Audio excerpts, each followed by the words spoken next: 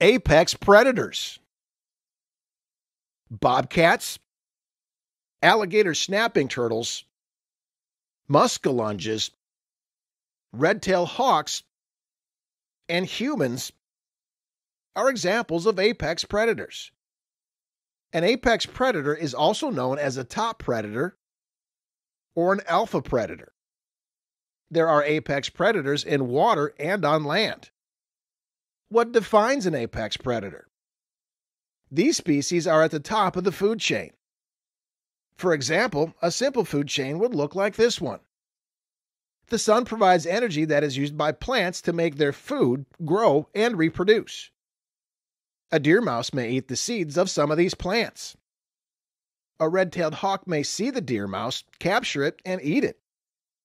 This food chain ends here. It relates the transfer of energy from the sun through the chain to the apex predator. Apex predators prey upon other species, but nothing regularly feeds on them in their adult form. A species does not need to be a carnivore to be a top predator. Humans are top predators as well as omnivores, eating a variety of food types. Turkey vultures are considered to be scavengers. While nothing preys upon them as adults, they do not hunt and capture other animals to eat. They feed mainly on dead organisms. When the red tailed hawk dies, a turkey vulture may eat it, and some of the energy that is stored in the hawk is transferred to it. The turkey vulture did not cause the hawk's death, however. It found the hawk after it had already died.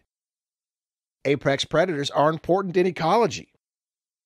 They help to keep populations of their prey species under control and maintain an ecological balance in an area. Without apex predators, populations of their prey items can increase rapidly and cause ecological problems. Apex predators and their prey species have developed together over time into relationships that are valuable for populations of both groups. Non native species that invade an area can upset the balance between predator and prey. Apex predators are all around us and include us. Some apex predators have been making the news in Illinois lately, and we want to discuss these three species too the American black bear, cougar, and wolf were native inhabitants of Illinois until the 1800s. As a result of bounty hunting, habitat loss and degradation, and no conservation laws, these species were extirpated from Illinois, although populations survive in other parts of North America.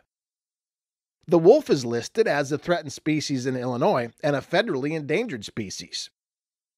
Cougars are a protected species in much of the Midwest. Black bear populations are strong enough to allow for a limited hunting season in Wisconsin. Due to legal protections and habitat restoration, the population of these three species has begun to recover, and individuals are spreading to other parts of the country. In recent years, verified sightings of all of these species have occurred in the state. Where are these animals coming from? It is believed that bears travel from Missouri and Wisconsin to Illinois. Wolves come from Wisconsin, and cougars are traveling from western South Dakota. Most of them are young individuals that are seeking a place to live. As of January 1, 2015, the Illinois Department of Natural Resources was given the authority to manage these three species for the protection of wildlife and public safety. While not encouraging the return of these species, the IDNR recognizes that planning toward that end should occur now.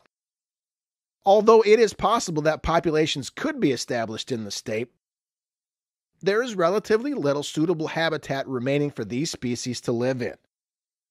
Only about 14.7% of Illinois is suitable habitat for black bears, 6.6% is suitable for cougars, and 14% is suitable for wolves.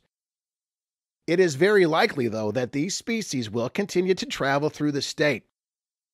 Surveys have shown that Illinois residents tend to be positive about the return of these species, while expressing concern about the close contact with them. Education about these large predators will be ongoing with Illinois residents to dispel myths. Being prepared for the presence of these species can help protect them while allowing citizens to protect themselves and their animals.